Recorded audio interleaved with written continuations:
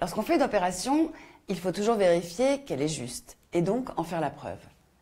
Pour une division, il s'agit d'abord de s'assurer que le reste est plus petit que le diviseur, puis de multiplier le diviseur par le quotient et d'ajouter le reste.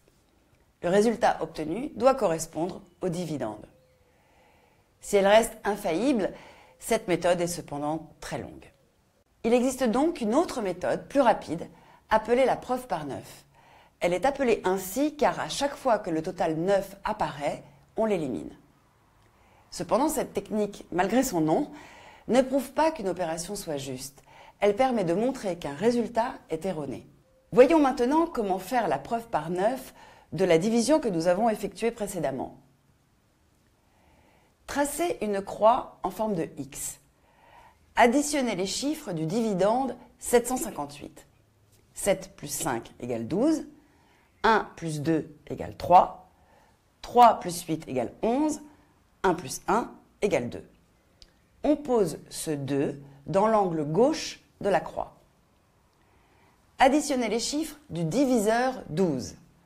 1 plus 2 égale 3. On pose ce 3 dans l'angle supérieur de la croix. Additionnez les chiffres du quotient 63.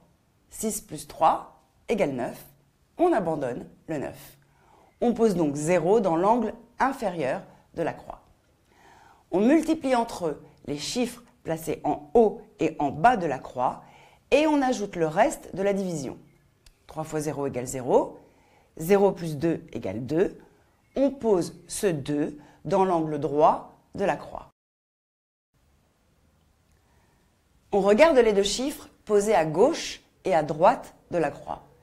S'ils ne sont pas identiques, nous avons prouvé que l'opération était fausse.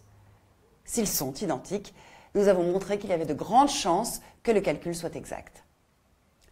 Dans cet exemple, ils sont identiques. Le résultat de notre division a donc toutes les chances d'être juste. On peut donc dire que la preuve par neuf est une condition nécessaire pour prouver que notre opération est juste, mais pas suffisante.